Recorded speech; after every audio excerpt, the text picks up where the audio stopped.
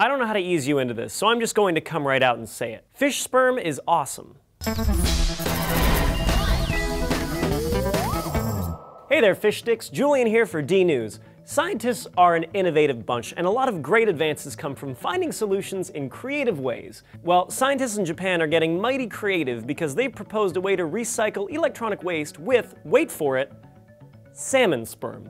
You see, a crucial component of the high-tech world are rare earth elements. They're the entire lanthanides group along with scandium and yttrium making 17 elements total. They're used sparingly in electronics, but they're crucial to their performance. The Apple iPhone, for example, uses eight rare earth elements that make up the screen and the speakers and all that circuit miniaturization possible. And like anything else, it's better to recycle them than to dig them up anew every time the next iPhone version comes out and everyone throws last year's model in the landfill. So in a great example of thinking outside the box, Yoshio Takahashi and his research team are looking inside the lox. As it turns out, ions of rare earth elements bond to the phosphate groups that, along with the sugar called deoxyribose, makes up the spines of the DNA double helix.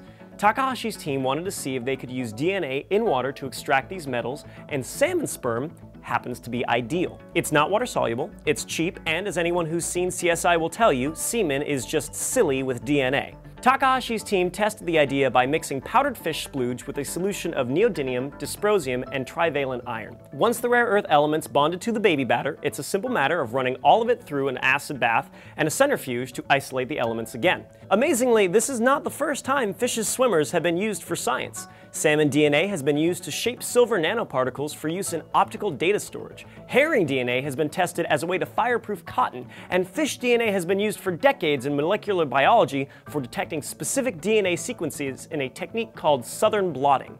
And yet, with all these uses, the Japanese fishing industry still throws out tons of the sticky stuff every year, which raises an important question.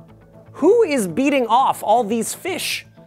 You'd think with the amount of pre-Nemos fish make, fish populations would be exploding, but that is not the case. Trace explains the problem in a much more mature video over here. Absurd science stories like this absolutely make my day. If you have a favorite example of weird science, we'd love to hear about it in the comments. Until next time, thanks for watching D News.